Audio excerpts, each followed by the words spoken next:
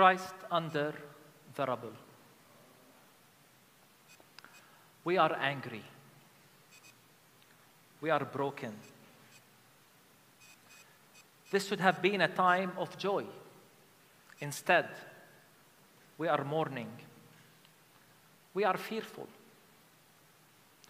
More than 20,000 killed. Thousands are still under the rubble. Close to 9,000 children killed in the most brutal ways. Day after day, 1.9 million displaced, hundreds of thousands of homes destroyed. Gaza, as we know it, no longer exists. This is an annihilation. This is a genocide. The world is watching. Churches are watching. The people of Gaza are sending live images of their own execution. Maybe the world cares, but it goes on. We are asking here could this be our fate in Bethlehem, in Ramallah, in Jenin? Is this our destiny too? We are tormented by the silence of the world.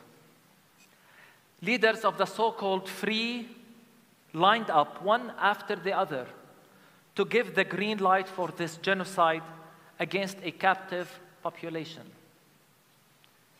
They gave the cover. Not only did they make sure to pay the bill in advance, they veiled the truth and context, providing the political cover. And yet another layer has been added the theological cover, with the Western church stepping into the spotlight. Our dear friends in South Africa taught us the concept of the state theology, defined as theology, the theological justification of the status quo with its racism, capitalism, and totalitarianism. It does so by misusing theological concepts and biblical texts for its own political purposes. Here in Palestine, the Bible is weaponized against us. Our very own sacred text. In our terminology in Palestine, we speak of the empire. Here we confront the theology of empire, a disguise for superiority, supremacy, chosenness, and entitlement. It is sometimes given a nice cover using words like mission and evangelism, fulfillment of prophecy, and spreading freedom and liberty. The theology of the empire becomes a powerful tool to mask oppression under the cloak of divine sanction. It speaks of land without people. It divides people into us and them. It dehumanizes and demonizes the concept of land without people again. Even though they knew too well that the land had people, and not just any people, a very special people. Theology of the empire calls for emptying Gaza, just like it called for the ethnic cleansing in 1948, a miracle or a divine miracle, as they called it. It calls for us Palestinians now to go to Egypt, maybe Jordan. Why not just the sea? I think of the words of the disciples to Jesus when he was about to enter Samaria. Lord, do you want us to command fire to come down from heaven and consume them? They said of the Samaritans. This is the theology of the empire. This is what they're saying about us today. This war, this war has confirmed to us that the world does not see us as equal. Maybe it's the color of our skins. Maybe it is because we are on the wrong side of a political equation. Even our kingship in Christ did not shield us. So they say if it takes killing 100 Palestinians to get a single Hamas militant, then so be it. We are not humans in their eyes. But in God's eyes, no one can tell us that. The hypocrisy and racism of the Western world is transparent and appalling. They always take the word of Palestinians with suspicion and qualification. No, we're not treated equally. Yet on the other side, despite a clear track record of misinformation, lies, their words are almost always deemed infallible. To our European friends, I never ever want to hear you lecture us on human rights or international law again. And I mean this. We are not white, I guess. It does not apply to us according to your own logic.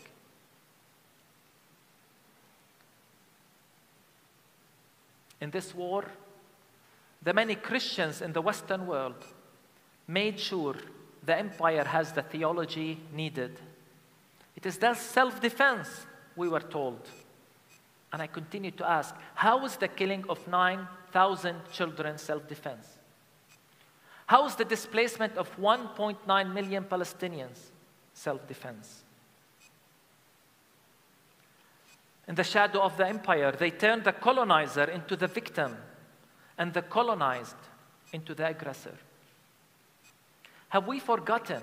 Have we forgotten that the state they talked to, that that state was built on the ruins of the towns and villages of those very same Gazans? Have they forgot that? We are outraged by the complicity of the church. Let it be clear, friends. Silence is complicity. And empty calls for peace without a ceasefire and end to occupation, and the shallow words of empathy without direct action, all under the banner of complicity. So here is my message Gaza today has become the moral compass of the world. Gaza was hell before October 7th, and the world was silent. Should we be surprised at their silence now? If you are not appalled by what is happening in Gaza, if you are not shaken to your core, there is something wrong with your humanity.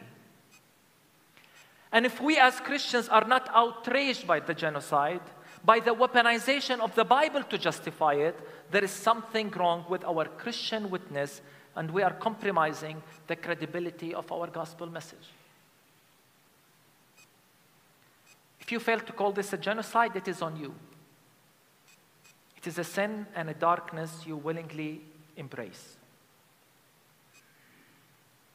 Some have not even called for a ceasefire. I'm talking about churches. I feel sorry for you. We will be okay.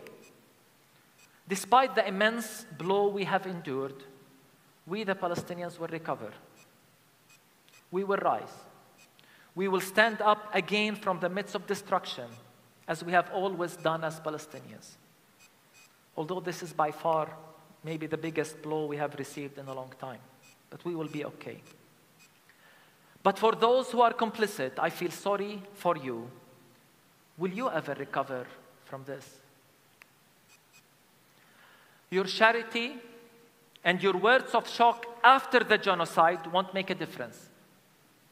And I know these words of shocks are coming. And I know people will give generously for charity. But your words won't make a difference. Words of regret won't suffice for you. And let me say it we will not accept your apology after the genocide. What has been done has been done. I want you to look at the mirror and ask, where was I when Gaza was going through a genocide? To our friends who are here with us, you have left your families and churches to be with us. You embody the term accompaniment, costly solidarity, Think of the words of Jesus We were in prison and you visited us. What a stark difference from the silence and complicity of others that you are here. Your presence here is the meaning of solidarity. And your visit have already left an impression that will never be taken from us. Through you, God has spoken to us that we are not forsaken. As Father Rami of the Catholic Church said this morning, you have come to Bethlehem, and like the Magi, you brought gifts with you, but gifts that are more precious than gold, frankincense, and myrrh. You brought the gift of love and solidarity. We feel it. We needed this. For this season, maybe more than anything, we were troubled by the silence of God. In these last two months, the Psalms of Lament have become a precious companion to us. We cried out, My God, my God, why have you forsaken Gaza? Why do you hide your face from Gaza? In our pain, anguish, and lament, we have searched for God and found him under the rubble in Gaza. Jesus himself became the victim of the very same violence of the empire when he was in our land. He was tortured, crucified, he bled out as others watched. He was killed and cried out in pain, My God, where are you? In Gaza today, God is under the rubble. And in this Christmas season, as we search for Jesus, he is not to be found in the side of Rome, but our side of the wall. He is in a cave with a simple family, an occupied family. He's vulnerable. Barely and miraculously surviving a massacre himself. He's among the refugees, among a refugee family. This is where Jesus is to be found today. If Jesus were to be born today, he would be born under the rubble in Gaza.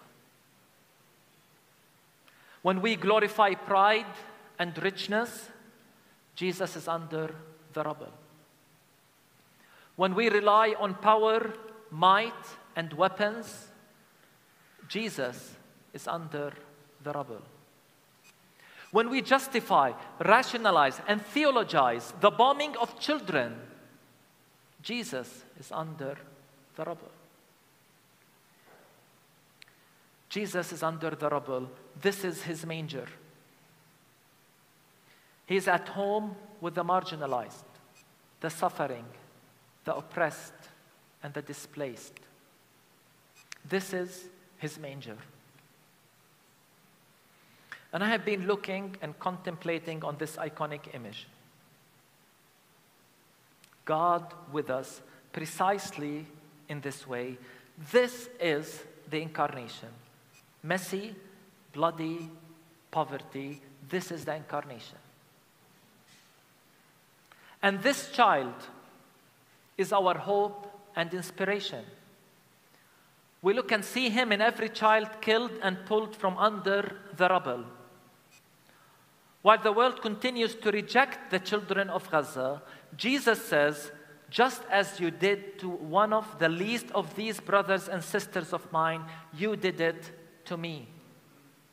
You did it to me. Jesus not only calls them his own, he is them. He is the children of Gaza. We look at the Holy Family and see them in every family displaced and wandering, now homeless in despair.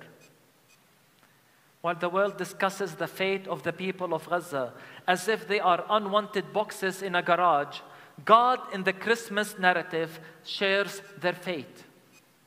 He walks with them and calls them his own.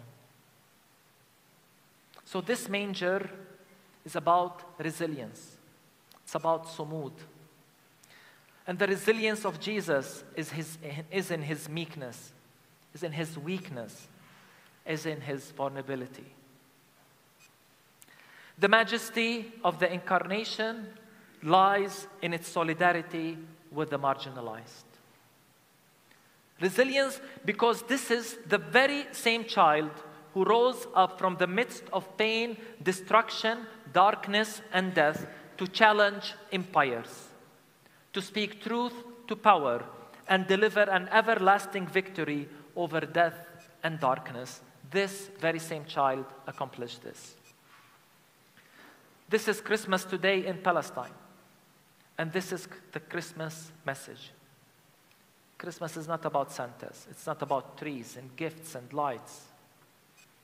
My goodness, how we have twisted the meaning of Christmas, how we have commercialized Christmas. I was, by the way, in the USA last month, the first Monday after Thanksgiving, and I was amazed by the amount of Christmas decorations and lights and all the commercial goods. And I couldn't help but think they send us bombs while celebrating Christmas in their lands. They sing about the Prince of Peace in their land while playing the drum of war in our land. Christmas in Bethlehem, the birthplace of Jesus, is this manger. This is our message to the world today. It is a gospel message. It is a true and authentic Christmas message about the God who did not stay silent, but said his word, and his word was Jesus. Born among the occupied and marginalized, he is in solidarity with us in our pain and brokenness. This message is our message to the world today, and it is simply this this genocide must stop now. Why don't we repeat it? Stop this genocide now. Can you say it with me? Stop this genocide. Let's say it one more time. Stop this genocide. This is our call. This is our plea. This is our prayer. Hear, O God. Amen.